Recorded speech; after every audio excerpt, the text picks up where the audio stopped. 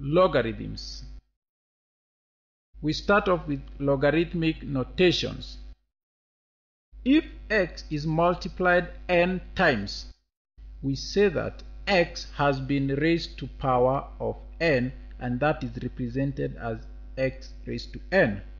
Thus, 3 times 3 times 3 times 3 is raised to power 4 and 4 multiplied 5 times is given as 4 raised to power 5. The power 4 and 5 are also referred to as logarithms of bases 3 and 4 respectively. 3 raised to power 4 is equal to 81. 4 raised to power 5 is 4096. 10 raised to power 3 is 1000. In short, we say that log to base 3 of 81 is equal to 4. Log to base 4 of 4096 is equal to 5. And finally, log to base 10 of 1000 is equal to 3. In general, if z is equal to x raised to power n, then log to base x of z is equal to n. Thus, the logarithm of a number z to base x is the power to which x must be raised to give z.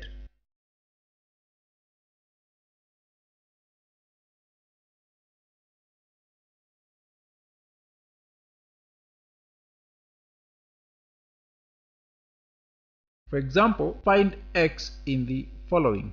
Log to base 3 of 243 log to base 5 of 625 is equal to x. In the solutions, 243 is equal to 3 raised to power 4 and hence we have log to base 3 of 243 is equal to 4 x is equal to 4. 625 can be written as 5 raised to power 4 and therefore log to base 5 of 625 is equal to 4 and x is also 4.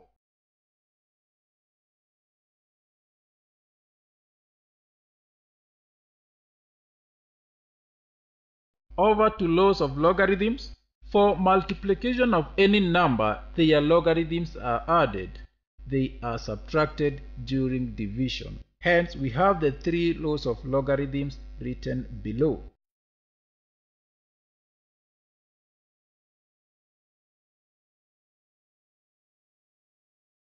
Simplification of logarithmic notations. The above three laws aid during simplification of logarithms. For example, simplify the following without using tables. Log to base 10 of 5 plus log to base 10 of 8 plus log to base 10 of 25. In the solutions, a can be written as log to base 10 into bracket. Since we are adding, it means the numbers were multiplied and therefore we have log to base 10 into 5 times 8 times 25 following rule 1 and we shall have log to base 10 of a thousand which gives us log to base 10 of 10 raised to power 3 and is also equal to 3 log to base 10 of 10 which follows rule 3 and the answer is 3.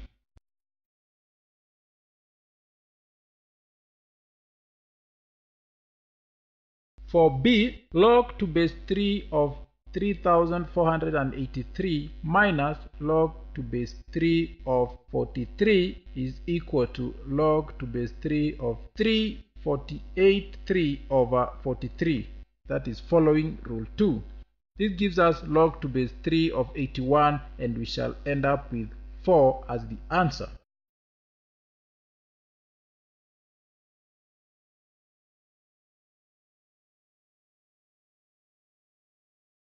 The same procedure is followed for C and D. Look at these examples keenly and identify the trick behind the solutions.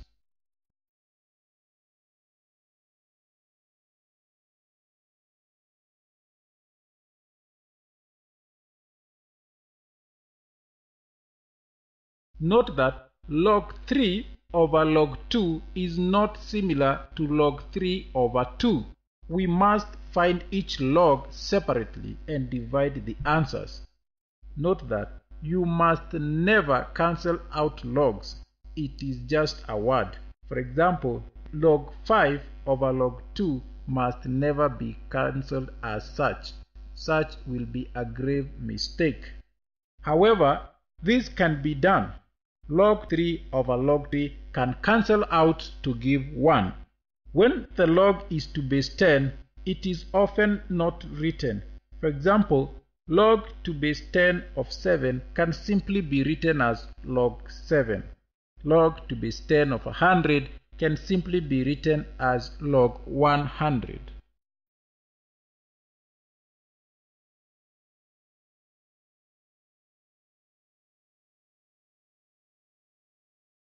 Solving logarithmic equations. For example, solve for x in each of the following. The solution for a, we have log into 2x minus 1 is equal to log of x plus 3. Ignoring the logs, we can take 2x minus 1 is equal to x plus 3 and solving that x is equal to 4.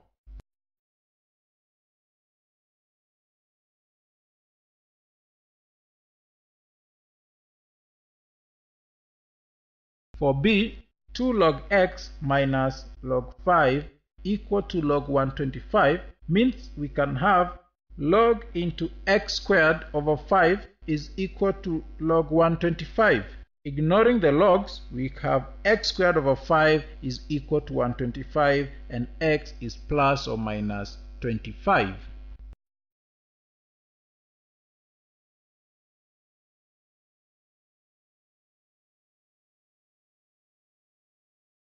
For C, log into 2x plus 2 is equal to 2 log 5 plus 1 means that log into 2x plus 1 is equal to log 5 squared plus 10.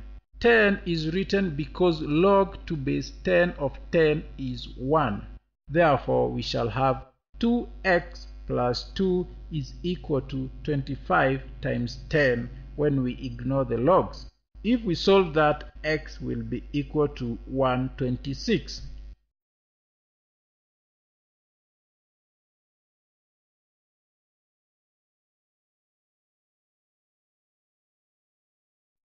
Finally, for d, 3.145 raised to power x is equal to 5. When we write that in form of logs, we have log 3.145 raised to x is equal to log 5. If we follow rule 3, we can have x log 3.145 is equal to log 5.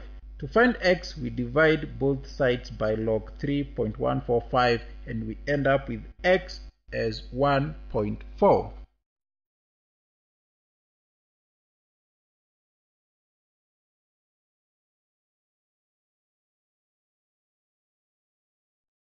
Let's take a look at further examples.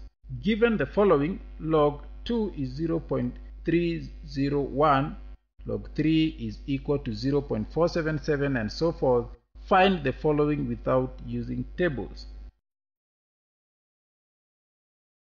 Log 15, 15 can be written as 3 times 5. Remember, we said when multiplying numbers, we simply add their logarithms and therefore log 15 can be given as log 3 plus log 5 and the answer is 1.1761.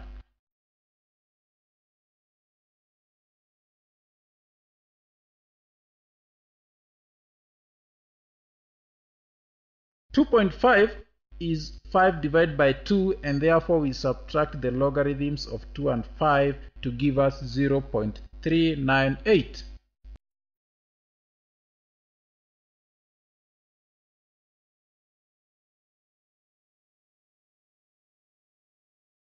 8 can be written as 2 raised to power 3 and therefore we can multiply the log of 2 by 3 making it log 8 is equal to 0.9030.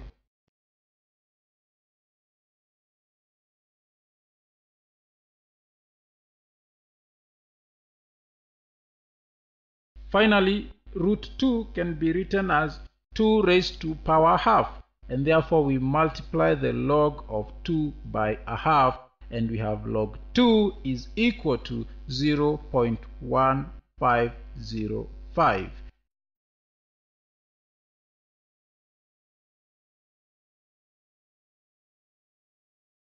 With that, we sum up the topic on logarithms.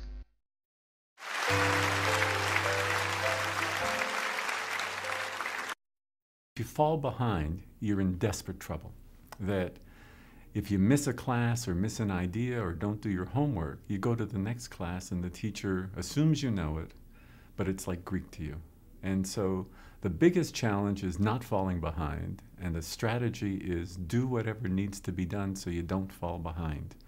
Seek help wherever you can find it from students, from student help centers, from the teacher, from the teaching assistant, wherever you can get it.